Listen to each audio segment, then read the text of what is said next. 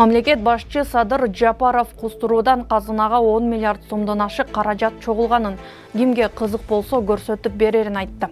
Апта соңуна алынган кабарлар менен тааныштырам саламатсызбы? Бишкекте баңгизат менен мектеп окуучулары кармалды. Укмкнын маалыматына караганда тогузунчу он биринчи класстын окуучулары ботаникалык бакта баңгизатын жашырып жатканда кармалышкан.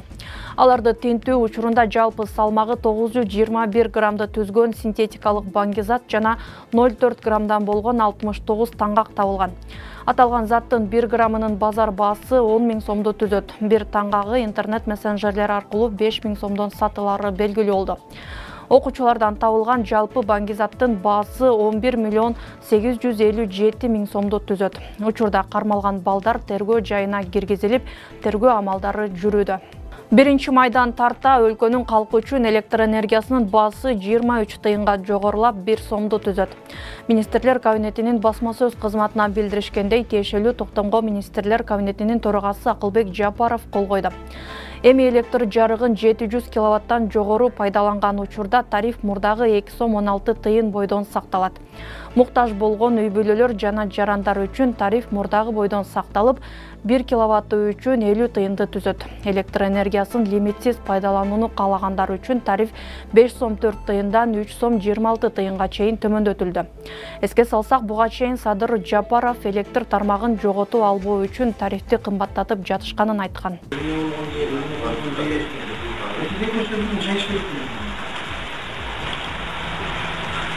чай ошол аны эртең мына ишке жардам берип интернетте тараган чуулуу видеодон кийин садыр жапаров бүгүн он төртүнчү апрелде ош облусундагы ыйгарым укуктуу өкүлү зиядин жамалдинов баш болгон бир нече жетекчилерди кызматынан бошотту маалым болгондой президенттин тапшырмасы менен ош облусунун жетекчилигинин ишмердүүлүгүн текшерүү боюнча комиссия түзүлүп жыйынтыгында мыйзам бузуу фактылары аныкталган.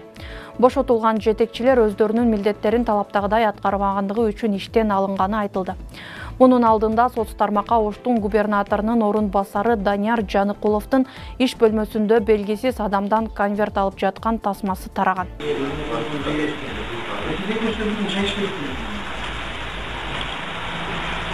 чай ичсек ошол. Окуя боюнча данияр жаныкулов өзү үн катып видео бир жыл мурун тартылганын акча алууда эч кандай жаман нерсе болбогонун айтты. Анын айтымында конверттеги акча ооруканада жаткан учурунда сурап келе албай калгандыгы үчүн чай ичип кой деп берген акча болчу. Бул жерде биз актана турган эч нерсе жок.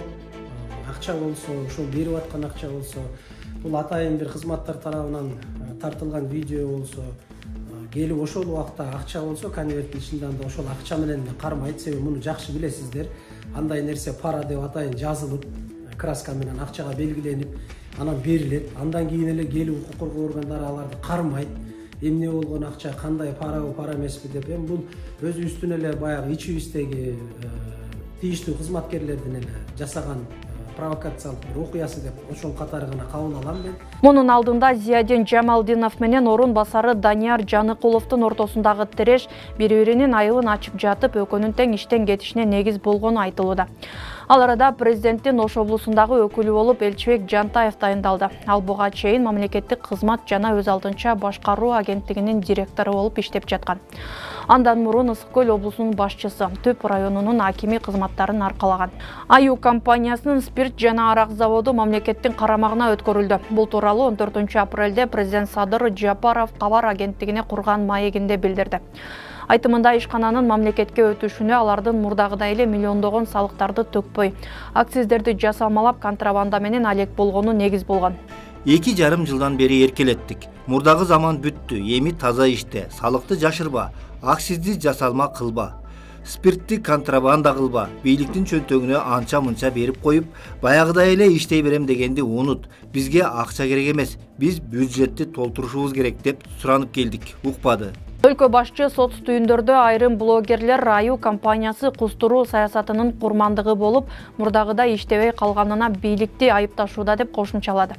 Ошондой эле жапаров кустуруудан мамлекетке жалпы он миллиард сомдон ашык каражат түшкөнүн айтып эки жарым жылдан бери ким канча акча төксө бир тыйыны дагы коробой мамлекеттик казынага түшүп жатканын билдирди. Кустуризация маселесине дагы кимде ким кызыктар болсо мага расмий түрдө кат менен кайрылышсын укук коргоо органдарына айтып кусундуларын баарын көрсөттүрүп берем.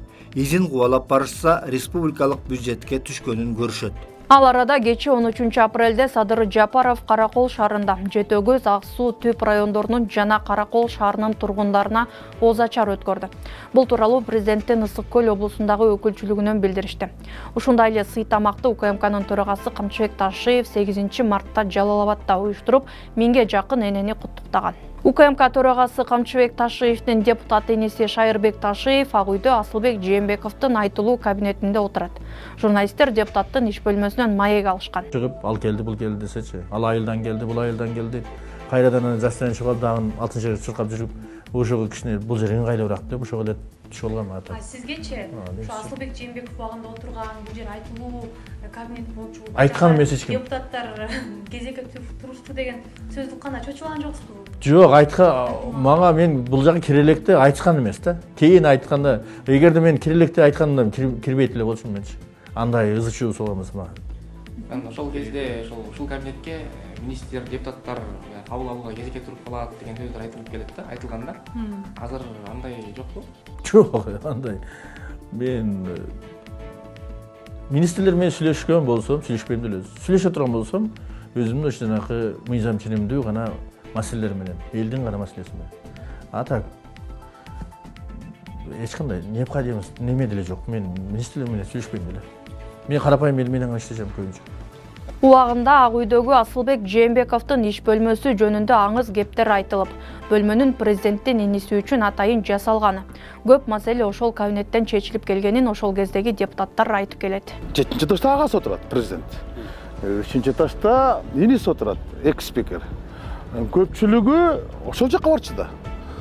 Чыгып асылбек шарипович маселен мындай парламенттин жыйындарына көп катышчу эмес көп катышчу эмес бирок негизги чечимдерди негизги чечимдерди кабыл алышта кайсы бир мыйзамдар э, ошол жак менен бар фракция лидерлери баягы сүйлөшүп келип анан добуш бергендери мен көрүп эле жүрчүмүн а кээ бир мындай маселе келгенде асылбек шарипович палатага кирип келип ал кандай добуш берсе ошондой добуш беришчү же агасы чечет жетинчи этаждагы же иниси чечет болду а өкмөттү эч ким басып деле барчу эмес өкмөт башчылар өкмөт башчылар спикерге эмес үчүнчү кабатка келчү да жанар акаев менен рыскелди момбеков айтып жаткан кабинет эки миң он алтынчы жылы асылбек жээнбеков үчүн атайын жасалган ал үчүн парламенттеги жыйындар залынын арт жагында жайгашкан үч бөлмө бириктирилип анда отурган жогорку кеңештин аппаратынын кызматкерлери башка жака көчүрүлдү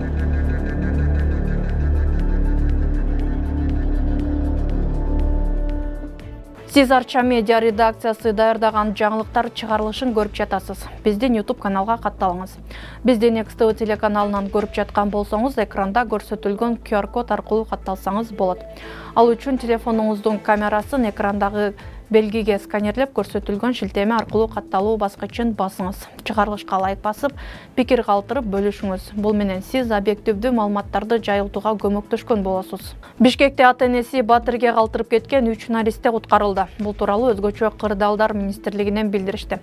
Маалыматка караганда он үчүнчү апрель күнү бишкектин көп кабаттуу үйлөрүнүн биринде төрт жашар кыз балконго чыгып жардам сурап жаткандыгы тууралуу маалымат түшкөн жерине барган куткаруу кызматы батирдин бекилген эшигин ачып ичинде үч кичинекей наристе бар экенин аныкташкан. Куткаруучулар балдардын абалы жакшы экенине көз салган соң апасын чакырып өткөрүп беришкен.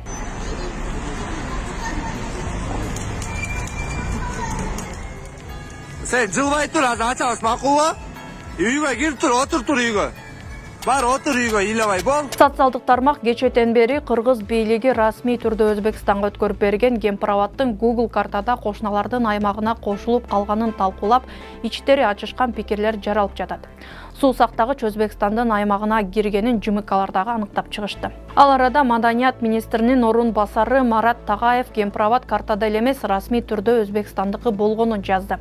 Анын айтымында google картада абадтын жайгашкан жери өзбекстандын карамагына кириши жаңылык деле эмес google карта кемпир өзбекстандыкы кылды деп американы ачкансып жазып жаткан кээ бир сайттарга таңмын. Кемпир гуглда гана эмес ратификациядан өтүп официалдуу өзбекстандыкы болгон.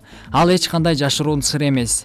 Бир канча ай талкууланган белгилүү окуя кыргызстан сууну башкарууга элүүгө элүү пайыз катышат. Чек ара тактоодон кийин кыргызстандын жери чоңойду. Аны эмнеге жазбайт? Эптеп эле элдин оюн бурмалап калгысы келгендер болот экен да. Эсиңизге салсак суусак тагыштын жери өзбекстанга өтүп жатканына нааразычылыгын билдирип чыккан отузга жакын саясатчы былтыр октябрда массалык кармалган. Дээрлик алты ай абакта отургандардын катуу ооруп жаткандары жана операция болгондору эки күн мурун үй камагына чыкты. Ал эми калгандары дагы эле абакта отурат берүүнү жыйынтыктайм аман туруңуз